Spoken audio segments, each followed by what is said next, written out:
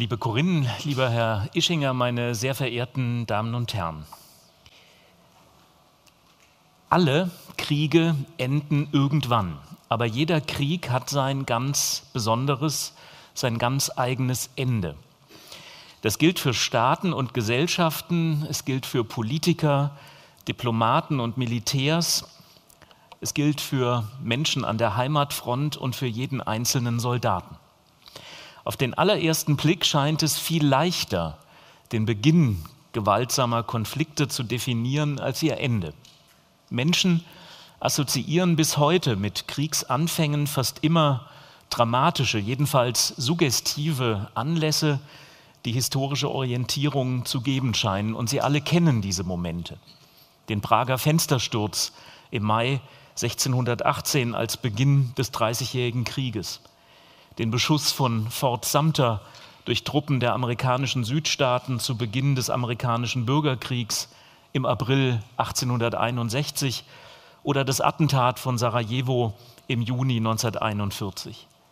Der Beschuss der Westerplatte durch ein deutsches Schlachtschiff bei Danzig im September 1939 oder der Einmarsch russischer Truppen in die Ukraine am 24. Februar 2022 oder der 7. Oktober 2023 mit dem Terrorangriff der Hamas auf Israel. Doch diese scheinbar eindeutigen Ereignisse, sie sagen sehr wenig aus über langfristige Kriegsursachen, über Vorgeschichten, über Eskalationsstufen, über die berühmt berüchtigten, immer wieder zitierten Points of No Return. Nicht selten entfalten die Kriegsanfänge erst aus dem Rückblick jene mythische Qualität für Gesellschaften, die wir, häufig, die wir häufig in den Erinnerungskulturen finden. Denken Sie an die Vorstellung einer allgemeinen Kriegsbegeisterung im August 1914, von der wir heute wissen, dass es diese allgemeine Kriegsbegeisterung so nie gegeben hat. Dieses sogenannte Augusterlebnis, es resultierte in vieler Hinsicht aus dem Rückblick einer Zeit nach 1918, die für viele Deutsche viel dunkler erschien als die dann idealisierte gute alte Zeit vor 1914. Meine Damen und Herren, wenn schon dieser Blick auf die Anfänge von Kriegen zeigt, wie leicht sich scheinbare Eindeutigkeiten in der historischen Betrachtung auflösen, dann gilt diese Erosion von Sicherheit, so könnte man es vielleicht nennen, ganz sicher für das Ende von Kriegen. Die meisten historischen Wege in den Frieden, sie waren verschlungen, sie wurden immer wieder verzögert, sie wurden unterbrochen. Je länger ein Krieg dauerte, je mehr Opfer er über Monate und Jahre anhäufte, das kann man mit Blick auf die neuzeitliche Geschichte sagen, desto unübersichtlicher, desto widersprüchlicher verliefen die Wege in den Frieden. Wann und wie ein Krieg endet, dieser Prozess er lässt sich jedenfalls nicht auf den Moment beschränken, in dem Sieger und Besiegte einen Vertrag miteinander schreiben. Hinter diesem Moment stehen komplizierte Verläufe von einer ersten Waffenruhe über einen vielleicht Vertrauensbildungsprozess, über einen stabilen Waffenstillstand, einen Vorfrieden bis hin zu einer internationalen Friedenskonferenz und einem vielleicht dann irgendwann ratifizierten Friedensvertrag. Aber, und Wolfgang Ischinger hat es schon angesprochen, endet ein Krieg mit einem Vertrag oder kündigt sich das Ende mit der aus Verlusten und Opfern gewonnenen Einsicht in die gegenseitige Erschöpfung von Ressourcen an, aus der schließlich irgendwann so etwas, auch das haben wir schon gehört, entsteht wie eine rationale Einsicht in die Notwendigkeit des Friedens.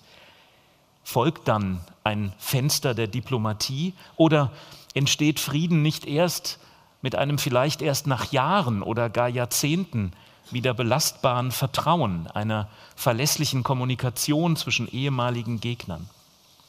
Gibt es eigentlich, so könnten wir fragen, einen stabilen Frieden ohne die Aussöhnung zwischen Individuen, Familien, Gemeinschaften? Gibt es Frieden ohne die Anerkennung von Opfern und Verbrechen, von Schuld und Schulden zwischen ganzen Gesellschaften? Und schließlich, ab wann wissen wir eigentlich verlässlich, ob ein Vertrag mit Unterschriften wirklich Frieden schafft oder, auch das kam in der Einleitung schon vor, ob es sich bei einem Frieden nur um einen taktischen Waffenstillstand handelt, eine temporäre Waffenruhe, eine Atempause, um neue Ressourcen zu mobilisieren und den Krieg dann umso entschiedener fortzuführen. Das sind die Fragen, die uns heute Abend interessieren sollen.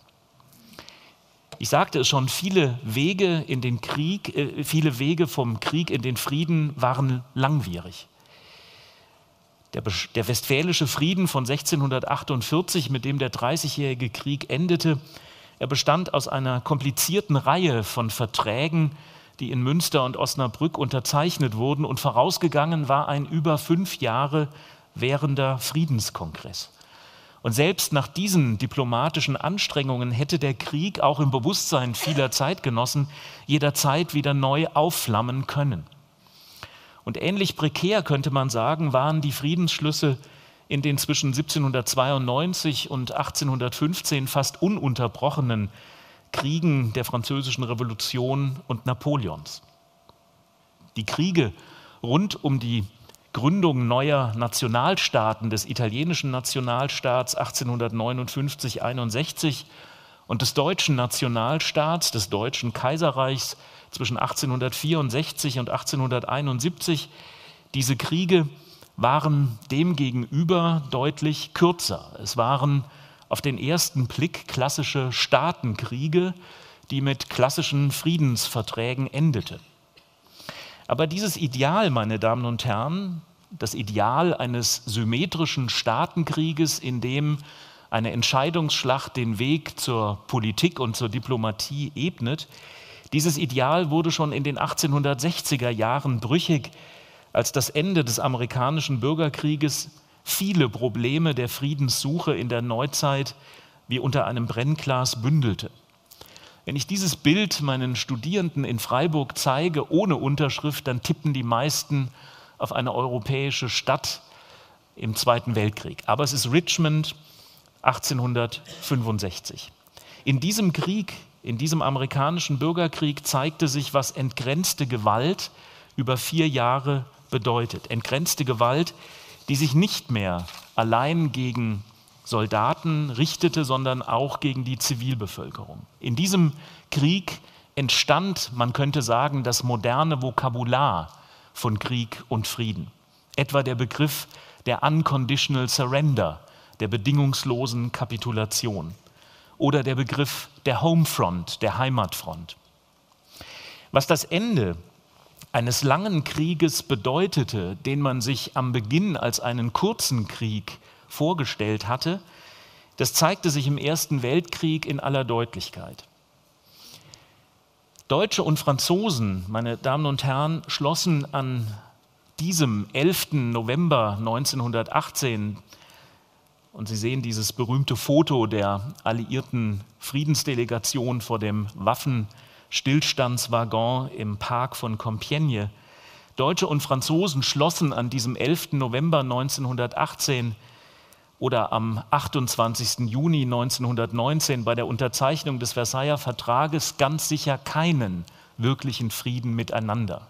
Der Unterschied zwischen dem, was in den Verträgen stand, und der Fortsetzung des Krieges in den Köpfen konnte in diesen Momenten kaum größer sein. Beide Daten, so könnte man sagen, der 11. November 1918 und der 28. Juni 1919, markierten das Ende akuter Kampfhandlungen an der Westfront Europas oder den Abschluss der Pariser Friedenskonferenz für das Deutsche Reich, aber es waren formale Momente. Denn tatsächlich provozierten die Ergebnisse des mit Erwartungen überforderten Friedens nach dem Ersten Weltkrieg neue Verletzungen und neue Krisenmomente. Durch territoriale Bestimmungen, durch das Problem der Reparationen, durch die Betonung einer Kriegsschuld, die zum Ausgangspunkt vielfältiger Revisionsobsessionen wurde. Meine Damen und Herren, es gibt kaum eine Geschichte im 20. Jahrhundert, die Ihnen zeigt, wie stark der Krieg in den Köpfen weitergeht, nach dem Ende, nach dem formalen Ende eines Krieges, als die Geschichte zwischen Deutschen und Franzosen in den frühen 20er Jahren. Das ist ein Plakat aus der Hochphase dieser Nachkriegsgeschichte, die Ihnen deutlich zeigt, ähm, dass der Abschluss eines Vertrages nichts darüber aussagt, wie viel bellizistische Disposition und Mentalität in den Köpfen weiter bleiben kann. Für viele Deutsche und Franzosen markierte, wir wissen das aus vielen Tagebüchern und Briefen, vielleicht erst der Abschluss des Locarno-Vertrags 1925, und das ist sieben Jahre nach Ende des Ersten Weltkriegs, so etwas wie einen glaubwürdigen Beginn einer wirklichen Nachkriegszeit. Und man kann diese Geschichte sogar noch weiterführen, denn im Bewusstsein vieler Deutscher endete der Erste Weltkrieg vielleicht sogar erst im Juni 1940. Was Sie hier sehen, ist ein Foto von deutschen Soldaten, die den Originalwaggon vom 11. November 1918 aus dem Museum von Compiègne herausholen. Und genau in diesem Waggon hat Adolf Hitler die Unterzeichnungszeremonie nach dem Sieg über Frankreich vollziehen lassen als eine Umkehr der Rollen. Im Bewusstsein vieler Deutscher gewann Adolf Hitler im Juni 1940 für die Deutschen den Ersten Weltkrieg und kompensierte damit die von vielen Deutschen nicht wirklich angenommene Niederlage von 1918. Ein in der deutschen Geschichte, glaube ich, besonders wichtiger Moment, weil wir wissen, dass die Zustimmung der Deutschen zu Adolf Hitler nach diesem Moment vom Juni 1940 so groß war wie nie zuvor. Ein großes Problem für die Opposition und den Widerstand.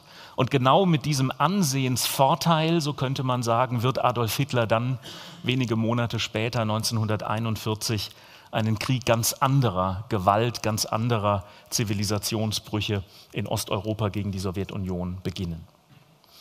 Meine Damen und Herren, mit diesen einführenden Bemerkungen möchte ich zeigen, dass Kriege auf unterschiedliche Weisen enden. Durch den militärischen Sieg einer Seite, durch ein militärisches Patt, durch einen auf Kompromiss beruhenden Friedensschluss, durch die Intervention Dritter oder durch die Überführung eines Krieges in einen Konflikt mit niedrigerer Gewaltintensität. Die Kapitulation eines Staates, einer Kriegspartei, sie konnte unter Bedingungen oder wie im Falle Japans und Deutschlands nach 1945 bedingungslos erfolgen. Wenn ich Ihnen heute als Historiker die zehn Thesen meines Buches ähm, vorstellen möchte, dann bin ich natürlich mit der Frage konfrontiert, was trägt der Blick in die Geschichte eigentlich bei, wenn wir die Gegenwart verstehen wollen. Und ich möchte Ihnen eine vorläufige Antwort auf diese Frage geben. Man kann keine politische Krise, auch nicht die aktuellen Krisen, quasi an die Geschichte delegieren. Geschichte, davon bin ich überzeugt, wiederholt sich nicht und sie liefert auch keine einfachen Blaupausen für politische Entscheidungen. Aber die Geschichte zeigt in einem schier unermesslichen Reservoir von Zeiten und Räumen welche Konstellationen, warum, zu welchen Ergebnissen führten. Die Geschichte offenbart, so könnte man es anders formulieren, Verlaufsmuster und Handlungslogiken. Sie verdeutlicht Ambivalenzen, häufig auch paradoxe Situationen. Und deshalb immunisiert sie gegen einfache Erklärungen, Analogien und Vergleiche. Und wenn sie im Augenblick in den Medien unterwegs sind, dann wissen Sie alle, dass wir bombardiert werden mit Analogien und Vergleichen. Und manche von denen sind suggestiver und andere sind fehlgeleitet. Aber klar ist, man muss gegenüber dieser Instrumentalisierung von Geschichte so etwas wie ein eigenes Urteilsvermögen entwickeln. Und dafür, so glaube ich, ist der, ist der Blick in die Geschichte ähm, unmittelbar wichtig. In diesem Sinne fordert die Geschichte zur Auseinandersetzung heraus. Sie erlaubt, so würde ich formulieren, durch den Blick auf das ganz Entfernte genau den Abstand zu gewinnen, der uns klarer sehen und mehr erkennen lässt. Ich nenne das immer den zweiten Blick, die nüchterne Analyse. Der Blick auf die Kriege der Vergangenheit zeigt uns also, warum es lohnt, sich auf diese Geschichte einzulassen, um in der Gegenwart besser zu verstehen, wie Kriege zu Ende gehen. Es geht weniger um das Besserwissen als um das Mehrsehen.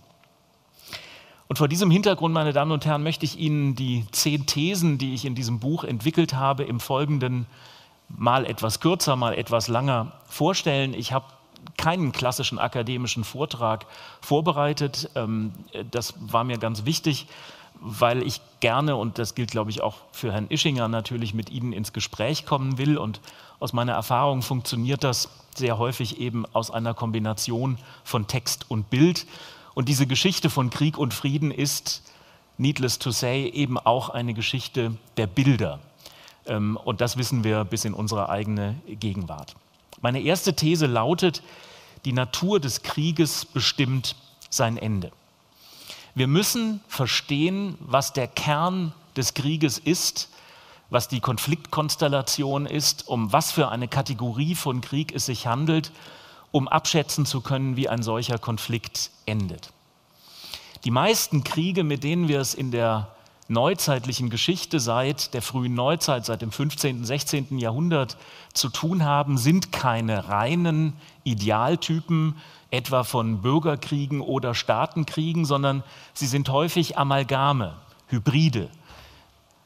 Ein gutes Beispiel, um das zu zeigen, ist ein Krieg, den Sie auf den ersten Blick interpretieren würden als einen klassischen Staatenkrieg, der Krieg zwischen Preußen und Österreich 1866, der mit der Schlacht von Königgrätz endet und die alte Dualität zwischen Preußen und Österreich löst und damit, so könnte man sagen, den Weg Preußens zur kleindeutschen Lösung von 1871 bahnt. Aber und das ist eins der Denkmäler, die mich im 19. Jahrhundert immer wieder fasziniert haben. Dieser Krieg war auch ein deutsch-deutscher Bürgerkrieg.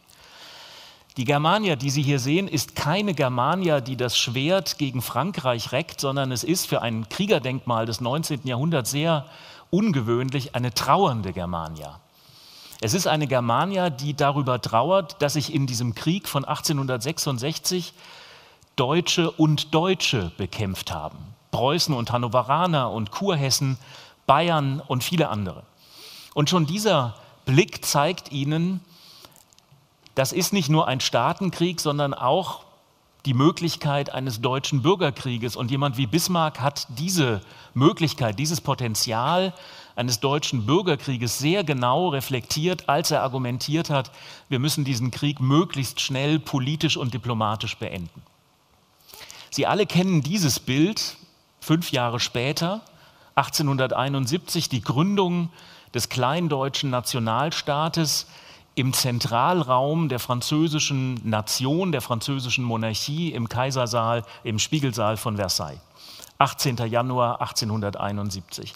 Und auf den ersten Blick glauben wir zu wissen, auch dieser Krieg ein klassischer Staatenkrieg, Preußen und die verbündeten deutschen Staaten einerseits und auf der anderen Seite Frankreich. Aber auch dieser Krieg war ein Staaten- und Bürgerkrieg, denn im Schatten dieses Staatenkrieges, Deutschland, Preußen gegen Frankreich, findet ein blutiger französischer Bürgerkrieg statt mit der Niederschlagung der französischen Kommunen in Paris.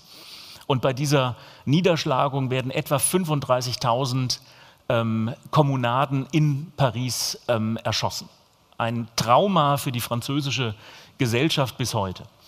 Und auch hier ist es wieder ganz wichtig zu erkennen, diese Erfahrung hat wesentlich dazu beigetragen, dass die französische Seite argumentiert hat, wir müssen diesen Krieg schnell beenden, bevor uns sozusagen die Kontrolle über den innerfranzösischen Bürgerkrieg komplett ähm, verloren geht.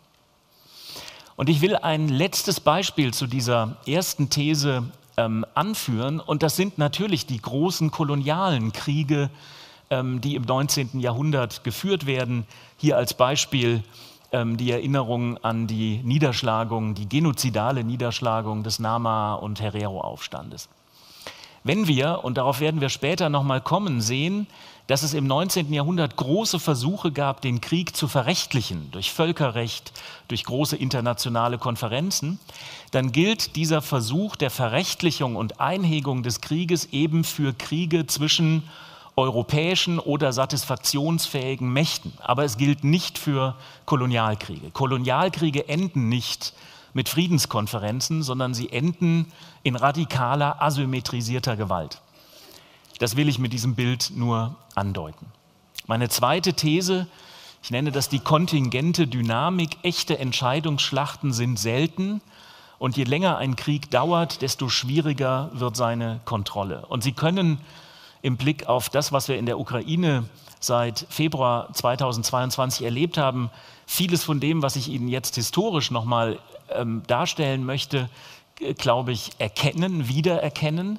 Ähm, fast alle Kriege, die Sie in der Neuzeit untersuchen als Historiker, beginnen mit dem Versprechen militärischer Experten, dass man diesen Konflikt ganz sicher kontrollieren kann, dass man über die Technologie, die Taktik, die Strategie, die Ressourcen verfügt, um ganz schnell eine Entscheidung herbeizuführen ähm, und damit der Politik, der Diplomatie wieder das Heft des Handelns zurückzugeben.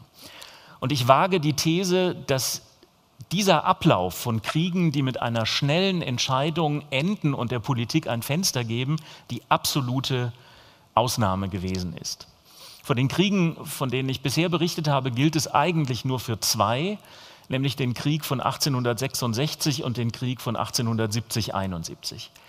Viel häufiger und im 20. Jahrhundert eigentlich die Regel ist die Erosion dieses Versprechens, ist die Planung, die zur Makulatur wird. Das berühmteste Beispiel ist der Schlieffenplan, mit dem das Deutsche Reich innerhalb von sechs Wochen den Ersten Weltkrieg entscheiden wollte. Und dieser Schlieffenplan endet an der Marne in einer großen Katastrophe. Und das Ergebnis ist, dass aus der Hoffnung, die jungen Männer sind an Weihnachten zu Hause, ein fast fünfjähriger Krieg wird. Und man könnte sagen, diese Erfahrung wird sich an ganz vielen Stellen im 20. Jahrhundert wiederholen. Sie wiederholt sich natürlich 1939 und 1941. Die Hoffnung der Deutschen, dass sie nach dem sogenannten Blitzsiegen von 1939-40 so etwas wiederholen können in Russland. Die japanische Hoffnung mit einem Enthauptungsschlag ähm, äh, die Vereinigten Staaten ähm, äh, zu schlagen. Aber wir finden es auch im Koreakrieg, wir finden es im Vietnamkrieg, wir finden es in den Kolonialkriegen Frankreichs, wir finden es im Algerienkrieg und wir finden es nicht zuletzt im Vietnam der Sowjetunion, nämlich 1979 beim Einmarsch ähm, in Afghanistan. Und man könnte sagen, genau diese Erfahrung hat Wladimir Putin auch gemacht. In, diesem, ähm, äh, in dieser Welt, in der wir leben, waren am 22. Februar 2022 viele selbsternannte Experten schnell dabei, der Ukraine maximal 72 Stunden zu geben. Warum ist das so ein wichtiger Moment, dass das Versprechen eines kurzen Krieges übergeht in die Realität eines unabsehbar langen Krieges? Es bedeutet zunächst einmal, dass solche Kriegsgesellschaften unter einem enormen Anpassungsdruck stehen, weil sie die Finanzierung, das Ressourcenmanagement, aber auch die, wenn Sie so wollen, kulturelle, die politische Deutung des Krieges permanent fortschreiben müssen. Und es bedeutet noch etwas anderes, und das ist ein Mechanismus, den man nicht unterschätzen darf. Wenn ein einmal ausgebrochener Krieg sich so fundamental vom geplanten, prognostizierten, prophezeiten Krieg unterscheidet, dann entsteht für politische und soziale Regime in solchen Kriegen eine mögliche Legitimationskrise. Und das bedeutet, Kriege verlängern sich in gewisser Weise häufig um die Opfer, die sie angehäuft haben. Was ich damit meine, ist, in einem Krieg, in dem es viele Opfer gibt, wird der Kompromiss, die Konzession immer schwieriger, weil eine zu weitgehende Konzession der eigenen Gesellschaft klar macht, die eigenen Söhne, die eigenen Ehemänner, die eigenen Brüder sind umsonst gestorben. Das ist eine Konstellation, die Sie im Ersten Weltkrieg fast paradigmatisch beobachten können, dass alle Regime ab 1916, 17 sagen, wir können keine Konzessionen machen, weil jede Konzession als Verrat an den Opfern interpretiert werden könnte. Es ist sozusagen eine fast paradoxe Situation, dass die umso höheren Opfer des Krieges den Weg in den Frieden eher schwieriger machen. Die dritte These, die Suche nach dem richtigen Ausgang, ein fauler Frieden kann den Krieg verlängern. Ein, man könnte sagen, Klassiker seit der Antike.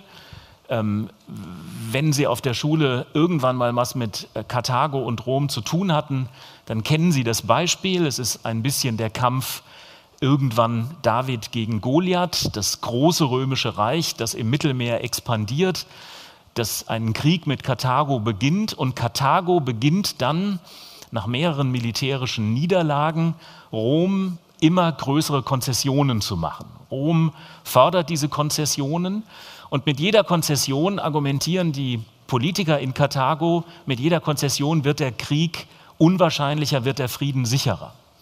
Aber genau das Gegenteil passiert. In Rom argumentieren die Falken, die Kriegswilligen, die auf Krieg orientierten Senatoren, wenn Karthago diese Konzessionen macht, dann können wir weitergehen, dann können wir weitergehende Konzessionen fördern. Und ganz am Schluss ist dieses Karthago nicht bewaffnet und wird von Rom sozusagen komplett zerstört. Ein klassisches Beispiel dafür, dass einseitige Konzessionen ohne eine echte Konzessions- und Friedensbereitschaft der Gegenseite den Frieden nicht bringt, sondern eher den Krieg mobilisiert oder vielleicht sogar die, Gewalt, die Gewalt eskalieren lässt. Ich könnte Ihnen viele andere Beispiele für dieses Problem des faulen Friedens ähm, hier darstellen, aber ich will einen Friedensschluss herausgreifen, nämlich den von Brest-Litovsk, mit dem, so könnte man sagen, das Deutsche Reich im Frühjahr 1918 den Ersten Weltkrieg in Osteuropa gewonnen hat. Sie sehen an dieser Karte, wie weit dieser Vormarsch der deutschen Truppen geht. Das sind übrigens junge Leutnante, die dann 1941 in Stabsoffiziersstellen häufig gekommen sind und mit ihrer Vorstellung, was dieser Krieg ab 1941 Deutschland bringen soll, ziemlich genau da ansetzen, wo sie als junge Offiziere ähm, äh, 1917, 18 gewesen sind. Sie sehen an dieser Karte nebenbei natürlich auch die große Bedeutung der Ukraine ähm, schon damals. Brest-Litovsk ist, um es ganz deutlich zu sagen, für Deutschland nicht mehr als eine taktische Pause gewesen, um das Zwei-Fronten-Problem zu lösen und damit alle militärischen Ressourcen auf einen im Bewusstsein der militärischen und politischen Eliten immer noch möglichen Gesamtsieg im Westen zu konzentrieren, einen Gesamtsieg im Westen, der sozusagen das schmale Zeitfenster nutzen sollte, bis genug amerikanische Soldaten in Europa gewesen wären, um das zu verhindern. Und das erklärt, warum es 1916 und vor allen Dingen 1917 zwar eine große Zahl von Friedensinitiativen gibt, nicht zuletzt die Entstehung des 14-Punkte-Programms des amerikanischen Präsidenten Woodrow Wilson. Aber warum es nach 1917 weitere Monate und fast anderthalb Jahre braucht, bis dieser Krieg wirklich zu Ende kommt. Und aus der Geschichte des Ersten wie des Zweiten Weltkriegs wissen wir, und man könnte Ähnliches auch für Vietnam und Korea sagen, dass gerade die Endphase von solchen Kriegen dann nochmal besonders blutig wird. Ja, die Gewalt wird eskaliert, um dem Gegner klarzumachen, du hast keine Chance, den Kampf fortzusetzen oder der Kampf um die möglichst guten Ausgangspositionen für eine anstehende Friedenskonferenz. Das vielleicht bekannteste Beispiel, mit dem auch im Augenblick in ganz vielen Metaphern, Analogien operiert wird, ist natürlich die Konzessionspolitik der Siegermächte von 1918 gegenüber Adolf Hitler in den 30er Jahren, der ein bisschen verkürzend unter dem Begriff des Appeasement zusammengefasst wird. Und ich will zu diesem Problem des Appeasement zunächst zwei Dinge sagen. Wir müssen verstehen, dass die Politiker, die dieses Appeasement betrieben haben, fast alle selbst als junge Männer den Ersten Weltkrieg erlebt haben. Das heißt, sie sind sozialisiert worden mit dieser Idee, dass der Erste Weltkrieg a war to end all wars sein sollte. Und die Wiederholung eines solchen Krieges oder vielleicht sogar die Steigerung der Gewalt war außerhalb des Vorstellungsvermögens vieler dieser ähm, Politiker. Und das Zweite, Sie können am Beispiel Frankreichs und Großbritanniens fast paradigmatisch erkennen, wie in den 20er und 30er Jahren Rüstung, Ressourcenmanagement, Vorbereitung eines Krieges innenpolitisch kaum mehr zu vermitteln ist, weil diese Gesellschaften den Ersten Weltkrieg hinter sich haben.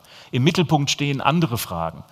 Der Ausbau des Sozialstaats, ähm, äh, der Welfare State, für beide, für Frankreich wie für Großbritannien, die Zukunft des eigenen Kolonialreichs. Denken Sie an die Situation in Indien.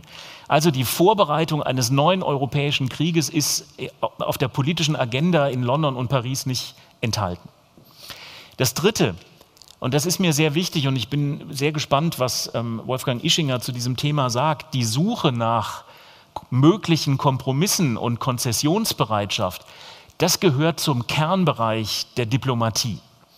Das Entscheidende, und das hat 1938 gefehlt, war, dass man keinen Plan hatte, wenn ein Aggressor in letzter Konsequenz nicht bereit war, sich auf die angebotenen Konzessionen einzulassen. Und das ist das Grundproblem der Briten und Franzosen gewesen, kein Konzept zu haben für einen Aggressor wie Hitler, der eben nicht beim sogenannten Anschluss Österreichs oder der sogenannten Zerschlagung ähm, der Tschechoslowakei stehen blieb. Und meine vierte Bemerkung zu diesen 30er Jahren, und auch das erleben wir, glaube ich, im Augenblick ähm, für die Ukraine und im Nahen Osten, das ist die Signalwirkung, die von großen Konflikten und ihrem Ende ausgeht. Was meine ich damit? Die Signalwirkung für Hitler war, er kann weitergehen. Und das hat er sozusagen genauso ausgenutzt, so wie wir ganz genau wissen, dass China, aber auch andere Akteure, die in Konflikten begriffen sind, denken Sie an Aserbaidschan, Armenien, denken Sie an Südamerika, ähm, dass andere Akteure darauf blicken, hält diese, wir würden heute sagen, regelbasierte Ordnung oder gilt das Recht des militärisch Stärkeren? Und von dem, was Hitler 1938 erreicht, geht natürlich eine Signalwirkung für andere Akteure aus, so wie Hitler ganz stark auf die Signalwirkung etwa der Besetzung, der Unterwerfung der Mandschurei durch Japan und die Unterhöhlung des Systems ähm, internationaler kollektiver Sicherheit ähm, profitiert hat. Das Ende ist ein Weltkrieg, ähm, den Großbritannien und Frankreich, ich würde sagen bis 1938, fast zu jedem Preis verhindern wollten. Ich will noch mal sagen, nicht die Suche nach Konzessionsbereitschaft und Kompromissen war das Problem, sondern keinen Plan zu haben für einen Aggressor, der nicht zu Konzessionen bereit war. Die vierte These, das lange Ende. Wer noch Chancen auf dem Schlachtfeld sieht, der wird den Kampf fortsetzen, solange es geht. Eigentlich ähm, etwas, was wir heute Abend schon mehrmals gehört haben, aber ich will es noch mal unterstreichen und ich gebe ähm, Wolfgang Ischinger absolut recht. Das ist genau die Logik, äh, mit der wir es bei Wladimir Putin zu tun haben.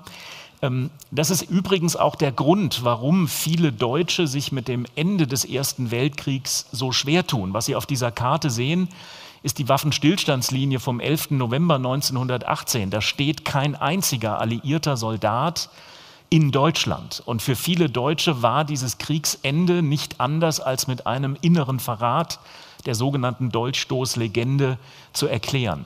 Aber diese Situation, dass die Militärs irgendwann in Berlin sagen, wir können den Krieg nicht fortsetzen, der wird eben erst im Spätsommer 1918 erreicht. Und bis dahin glauben auch die meisten Deutschen, es wird schwierig und wir müssen uns einschränken, aber der Siegfrieden, der all diese Hunderttausenden und Millionen von Opfer rechtfertigen kann, ist immer noch möglich.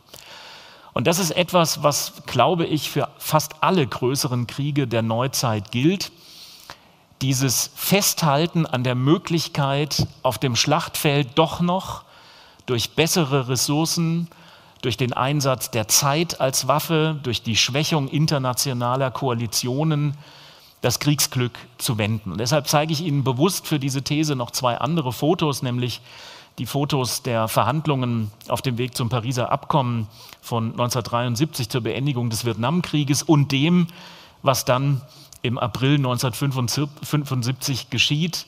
Ähm, etwas, was äh, dieses Pariser Abkommen Makulatur werden lässt. Und Sie könnten sagen, beide Fotos sind am Ende eines Prozesses, bei dem beide Seiten, Nordvietnam genauso wie die Vereinigten Staaten, immer wieder argumentieren, wir können auf dem Schlachtfeld doch noch die ursprünglichen Ziele erreichen. Und selbst wenn das bei den Vereinigten Staaten irgendwann nicht mehr der klassische Sieg ist, dann ist es wenigstens der decent Interval eines ehrenhaften Friedens, mit dem man die eigenen Soldaten rausbekommt und sich aus der Niederlage, der absehbaren Niederlage Südvietnams zurückgezogen hat. Meine fünfte These, Planung und Prognose. Verfügbare Ressourcen bestimmen den Kippmoment von Kriegen, aber nicht unbedingt die Einsicht der Akteure. Das ist, wenn Sie so wollen, eine Einsicht aus der Wirtschaftsgeschichte, auch der Finanzgeschichte von Kriegen. Kriege in der Neuzeit sind immer auch Wirtschafts- und Ressourcenkriege. Und wenn Sie sich objektivierbare Daten ansehen, dann ist völlig klar, dass das Deutsche Reich spätestens 1917 keine besonders guten Chancen mehr hatte, den Ersten Weltkrieg zu gewinnen. Und wenn Sie sich nur Pass pro Toto die Produktion von Kampfflugzeugen im Zweiten Weltkrieg ansehen, dann ist Ihnen klar, dass spätestens ab 1943 ressourcentechnisch der Krieg für Deutschland nicht mehr zu gewinnen war. Aber, und das Aber ist jetzt von entscheidender Bedeutung, diese objektivierbare Entwicklung sagt nichts darüber aus, wie einzelne politische und militärische Akteure denken. Dazu gehört die Hoffnung auf neue Ressourcen, dazu gehört die Hoffnung auf moderne Waffensysteme, dazu gehört in beiden Weltkriegen immer wieder die Hoffnung darauf, dass die eigenen Soldaten die besseren Nerven haben. Dazu gehört die Hoffnung, dass Kriege am Ende nicht durch Waffensysteme, sondern durch Nerven, durch Willensstärke entschieden werden. Sie könnten eine eigene Geschichte von gescheiterten Wirtschaftssanktionen erzählen. Ähm, in diese Geschichte würde die Kontinentalsperre Napoleons gehören, aber auch die große Hoffnung der Briten, dass das Deutsche Reich mit einer Fernblockade seiner Häfen, mit der man ähm, das Deutsche Reich von den Rohstofflieferungen 1914 abschneidet, dass das den Krieg ganz schnell beendet. Und all das ist nie passiert. Gesellschaften, auch das ist eine ganz wichtige äh, Ableitung, die ich als Historiker ähm, für das 19. und 20. Jahrhundert formulieren würde. Gesellschaften in Kriegen sind unglaublich lern- und anpassungsfähig. Ähm, wir wissen, dass sehr viele Prozesse ähm, der wirtschaftlichen Entwicklung, aber auch der Kooperation von Wissenschaft und Wirtschaft ähm, häufig enorm beschleunigt und katalysiert werden durch die Situation von Mangel. Und fast immer ähm, ist diese Fähigkeit stärker ausgeprägt als die Konsequenz, mit der Wirtschaftssanktionen durchgesetzt werden. Deshalb ist die stumpfe Waffe von Wirtschaftssanktionen, auf die man ja im Westen ganz stark gesetzt hat am Beginn des ähm, Ukraine-Krieges, diese stumpfe Waffe ist für mich als Historiker keine so große ähm, Überraschung. Meine sechste These, auch sie hat ähm, äh, Wolfgang Ischinger schon angesprochen, nicht jeder Krieg ähm, endet mit einem formalen Frieden. Dieser Punkt ist für mich besonders interessant, weil Sie hier vielleicht am stärksten sehen können, wie sich vom 17. Jahrhundert bis ins 20. Jahrhundert die Geschichte verändert hat. Mit dem Ende des Dreißigjährigen Krieges, so könnte man sagen, beginnt der Siegeszug des modernen Völkerrechts. Das ist eine berühmte Allegorie auf Hugo Grotius, einen der ähm, Vordenker, der Väter des internationalen Rechts, des Völkerrechts. Und auf dieser Allegorie sind die Friedensmacher von 1648 um einen Katafalk von Grotius ähm, versammelt. Und dahinter steht natürlich die Hoffnung, nach den Erfahrungen eines konfessionellen Bürgerkrieges mit der Einebnung der Grenzen zwischen Kombatanten und Nichtkombatanten mit entfesselter Gewalt, dass man nach diesen Erfahrungen den Krieg zähmen kann. Die gezähmte Bellona ist sozusagen das Ideal des 17., 18., 19. und frühen 20. Jahrhunderts. Und tatsächlich das kann man historisch ziemlich gut nachweisen, nimmt die Zahl von Kriegen, die mit einem formalen Friedensvertrag endet, zwischen 1650 und 1914 enorm zu, von etwa 30 auf über 80 Prozent.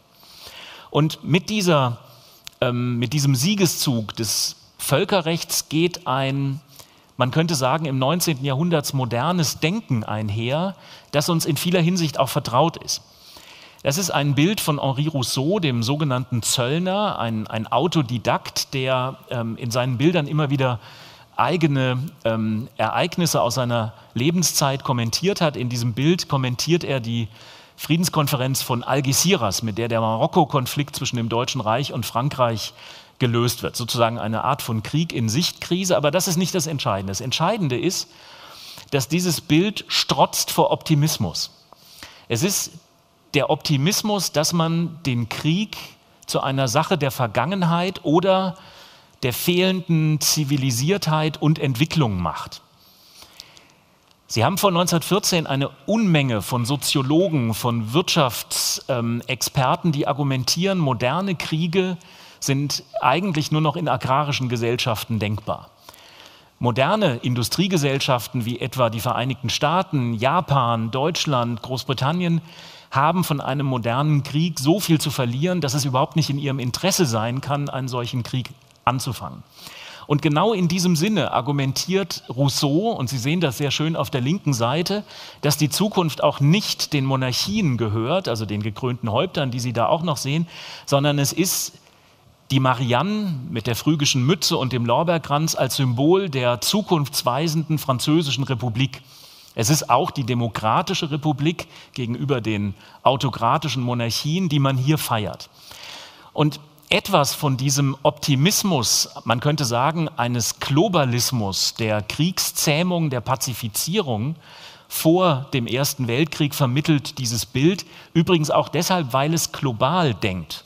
Denn Sie sehen, auch Vertreter der Kolonialgesellschaften ja, aus Arabien, aus Afrika, aus Asien.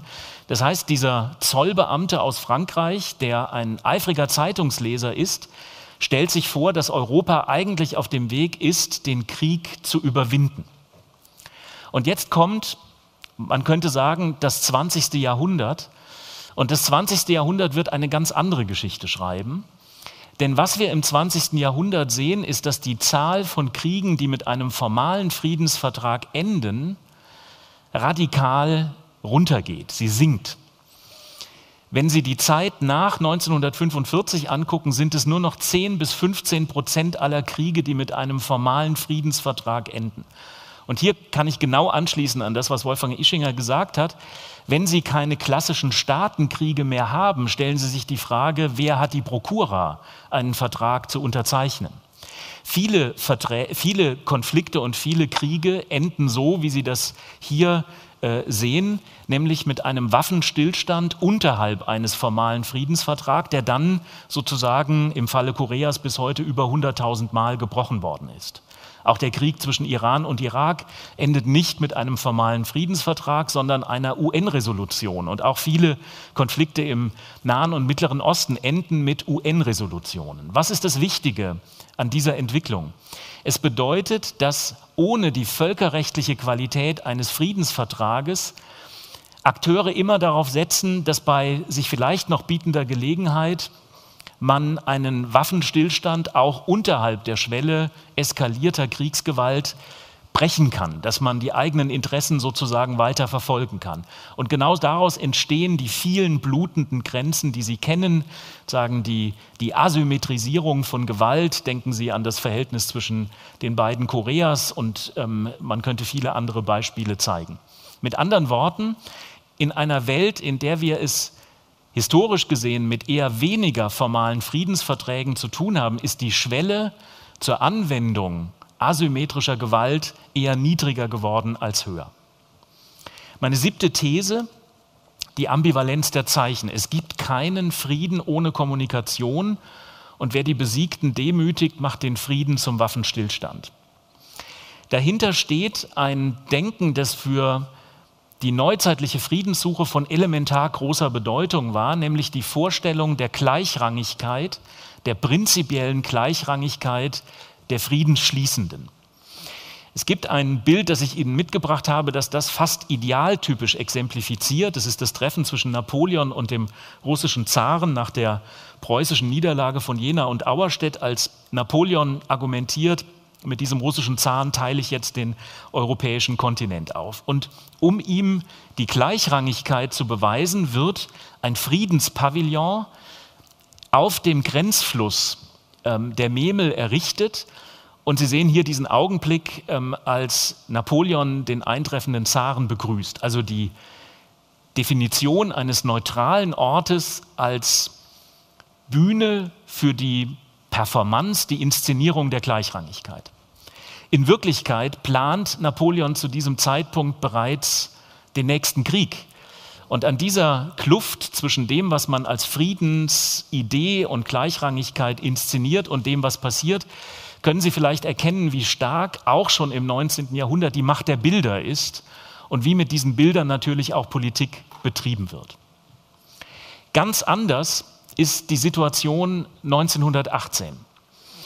Ähm, man könnte sagen, als die Pariser Friedenskonferenz in, beginnt nach dem Ersten Weltkrieg, da findet das noch in vieler Hinsicht oberflächlich in den Formen statt, in denen andere große Friedenskongresse begonnen haben, also Münster und Osnabrück 1648 oder Wien. Und dieses Bild, das Sie hier sehen, ist ein Beispiel dafür. Die einzelnen großen Delegationen haben noch offizielle Maler, die wichtige Momente sozusagen festhalten sollen. Und was Sie hier sehen, ist eben die Unterzeichnung des Versailler Vertrags durch die beiden deutschen Delegierten im Juni 1919. Aber dieser Friedensschluss wird in einer Art und Weise, man könnte sagen, emotional aufgeladen, wie das den Zeitgenossen im 19. Jahrhundert undenkbar gewesen wäre. Diese Postkarte zeigt die sogenannten Cinq Gueules Cassées. Das sind fünf französische Soldaten, unschwer zu erkennen, mit schweren Gesichtsverletzungen. Und diese Soldaten werden, und das zeigt Ihnen dieses Bild eben nicht, die werden in eine Fensternische postiert kurz bevor die deutsche Delegation am 28. Juni 1919 in diesen Spiegelsaal von Versailles eingebracht wird. Und kurz bevor diese deutsche Delegation den Saal betritt, schüttelt Georges Clemenceau, der französische Premierminister, diesen fünf Soldaten stumm die Hand. Vier Tage später wird eine Fotografie angefertigt und diese Fotografie kennt bis in die 70er Jahre jedes französische Schulkind. Es gibt keine wichtigen Geschichtsbücher in, auf den höheren Schulen in Frankreich ohne diese Postkarte. Und diese Postkarte wird innerhalb von sechs Monaten in Frankreich 1919 über 800.000 Mal verkauft. Sehr interessant ist die Reaktion vieler britischer und amerikanischer Diplomaten auf diese Szene. Die schreiben in ihre Tagebücher, so kann man keinen Frieden schließen wir müssen eigentlich ein Interesse haben, die Weimarer Republik, die da jetzt neu entstanden ist, zu stärken. Das ist kein autokratischer Staat. Das ist nicht mehr die Hohenzollern-Militärmonarchie, sondern das ist eine ziemlich progressive Republik, die aber unter Druck kommen wird, wenn sie diesen Vertrag unterschreibt. Und dieser Druck wird umso größer, wenn die Deutschen den Eindruck bekommen, sie werden moralisch, emotional disqualifiziert. Und was sie 1919 erleben, ist im Grunde genommen eine Kluft. Auf der einen Seite die Hoffnung, dass man den Krieg überwindet in einer Welt mit mehr Völkerrecht, mit neuen Institutionen wie dem Völkerbund und auf der anderen Seite eine nie dagewesene Emotionalisierung. Ich zeige dieses Bild auch, weil es in der frühneuzeitlichen Friedenssuche eine Metapher gibt, die Ihnen den Unterschied deutlich macht. Bis weit ins 19. Jahrhundert hinein enthalten alle Friedensschlüsse die Formel der sogenannten Oblivion, des wohltätigen Vergessens, eine Art von Nulllinie, um den Krieg aus den Köpfen herauszubekommen. Das ist eine ganz wichtige Erbschaft der frühneuzeitlichen konfessionellen Bürgerkriege, das wohltätige Vergessen. Und was im 20. Jahrhundert entstanden ist, und das ist eine große historische Veränderung, ist, wenn man so will, genau das Gegenteil. Nicht das wohltätige Vergessen macht den Frieden möglich, sondern die Aufarbeitung der Opfererfahrung, die Aufarbeitung des Leids, die strafrechtliche Verfolgung von Verbrechen. Und es wird für keine Gesellschaft, weder in der Ukraine noch im Nahen Osten, eine Rückkehr in so etwas wie wohltätiges Vergessen geben, das ist völlig klar. Aber machen Sie sich deutlich, welche enormen Herausforderungen an einem solchen Friedensprojekt dann haften. Und für diese Frage, für die Frage der emotionalen Verarbeitung von Kriegserfahrungen ist natürlich die Frage von Bildern, von Kommunikation, von Medien von elementarer Bedeutung. Ähm, das ist ein Plakat ähm, mit einer Fantasie, was den deutschen Delegierten passieren sollte, die diesen Versailler Vertrag unterschrieben haben.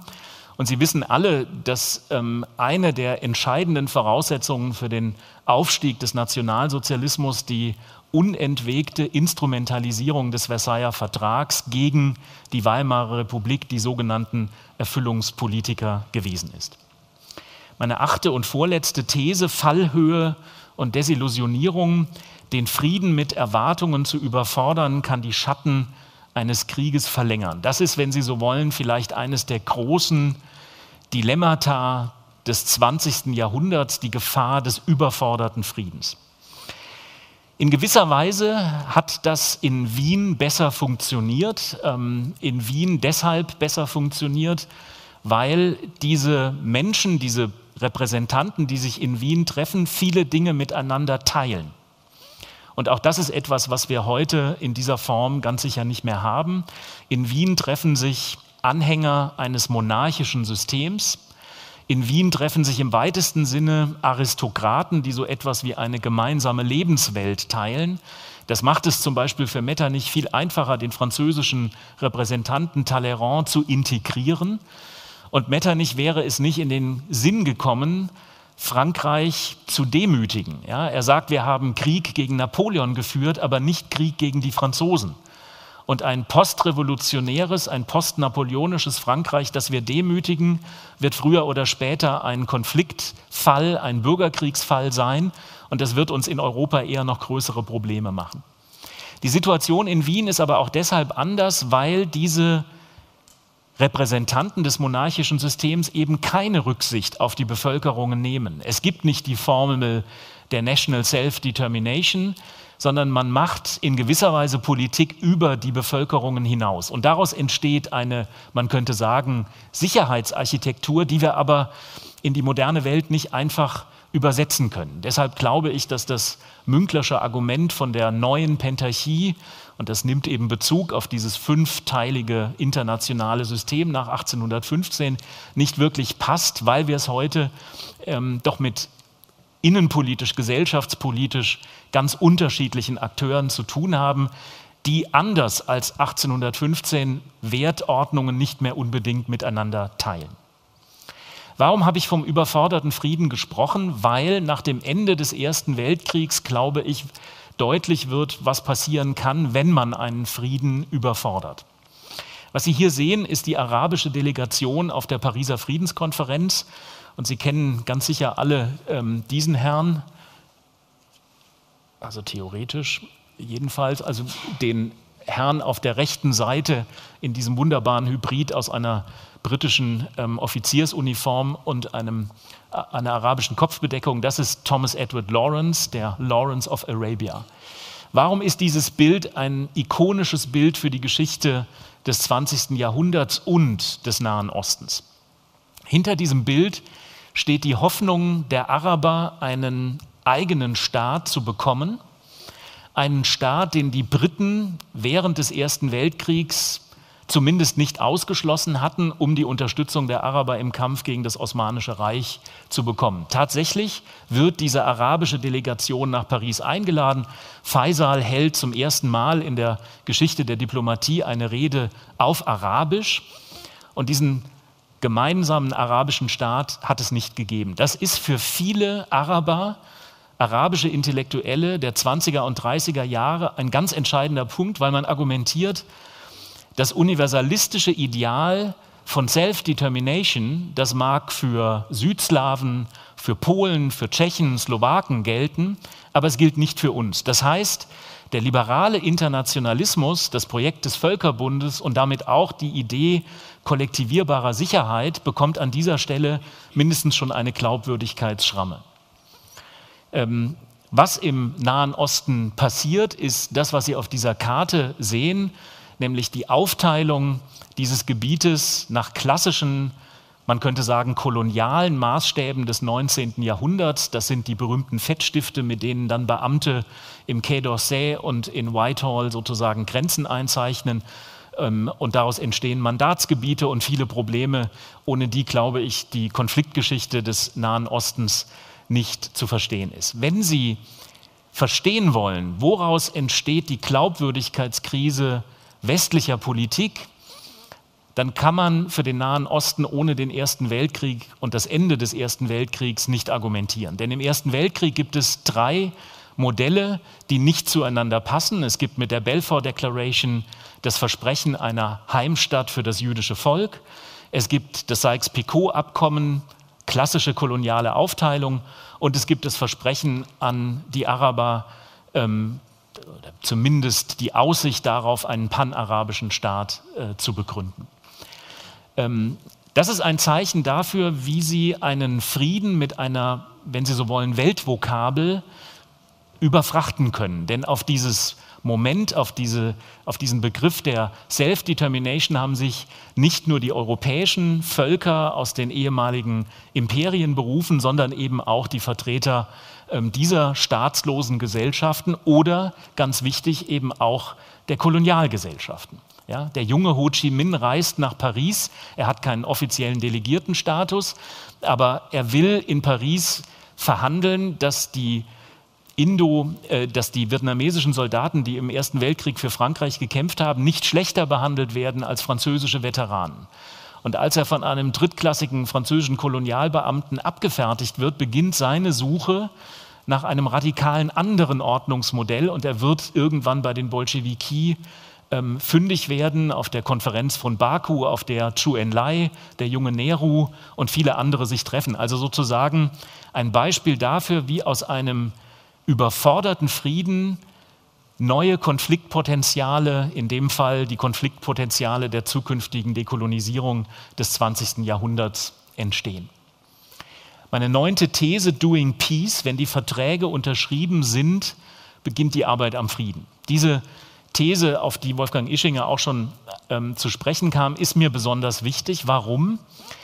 Weil wir eigentlich ähm, mit Blick auf ähm, das Ende von Kriegen im 19. und 20. Jahrhundert fast immer sehen, dass der Vertrag das eine ist und die langfristigen kollektiven mentalitätshistorischen Prozesse etwas anderes.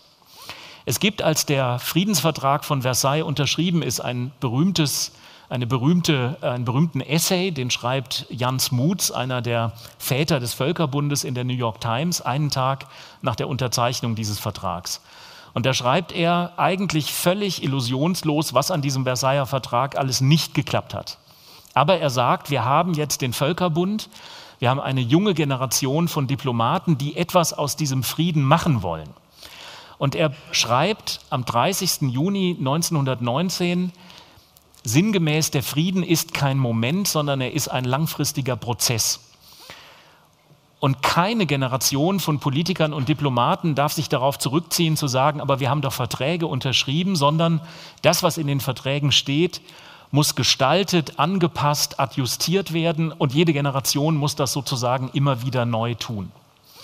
Und für eine solche sozusagen Friedenspolitik, Friedensgestaltungspolitik steht, daran würde ich unbedingt festhalten, eben jemand wie Gustav Stresemann.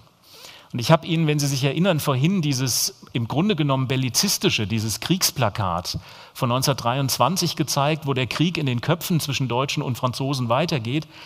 Und wenige Jahre später nutzt seine Partei, die DVP, einen Gustav Stresemann, der sozusagen aufgeschlossen über den Rhein blickt. Sie sehen die Brücke von Remagen im Vordergrund. Und das ist natürlich der Versuch aus dem Locarno-Vertragswerk für die Weimarer Republik innenpolitisches Kapital zu schlagen. Als dieses Wahlplakat gedrückt wird, gedruckt wird, ist Gustav Stresemann schon ein Jahr tot. Und im Kontext der Weltwirtschaftskrise, der innenpolitischen Polarisierung gelingt es eben nicht mehr, diese außenpolitischen Erfolge zur Stabilisierung der Weimarer Republik sozusagen oder in, in eine Stabilisierung der Weimarer Republik zu übersetzen.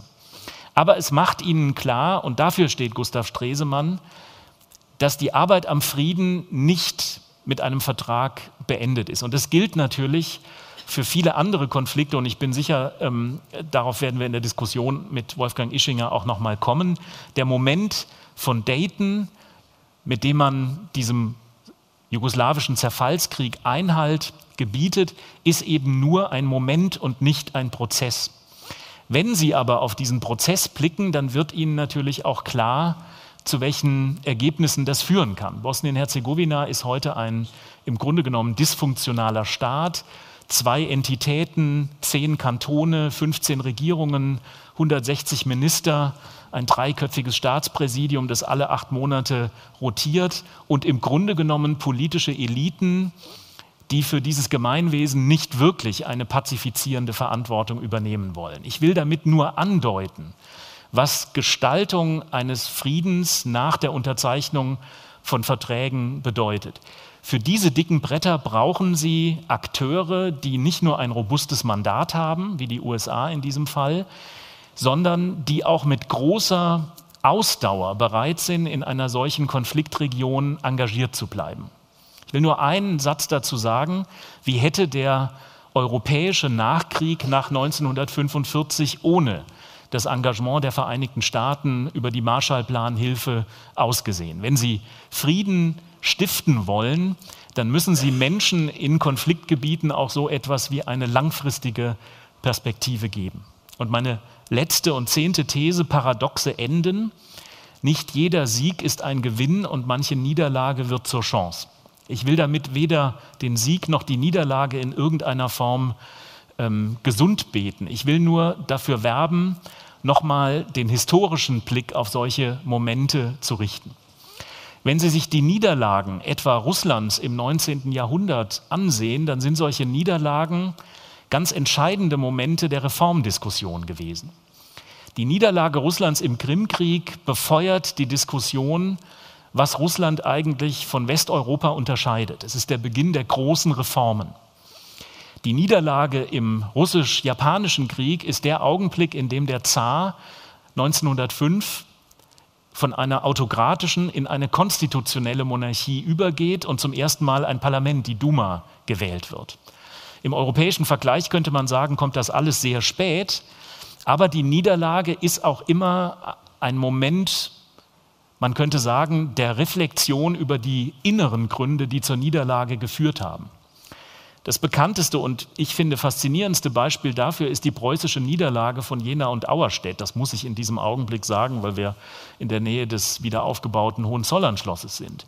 Diese Niederlage Preußens ist der Ansatzpunkt für die preußischen Reformen, aus, der, aus denen unendlich viel Modernisierung für Deutschland erwachsen ist. Die moderne Kommunalverfassung, das Konzept des Staatsbürgers in Uniform, ähm, die Idee der Wehrpflicht, ähm, äh, die Gewerbefreiheit, ähm, die moderne Universität, äh, die hier in Berlin sozusagen zu einem Exportschlager gemacht wird.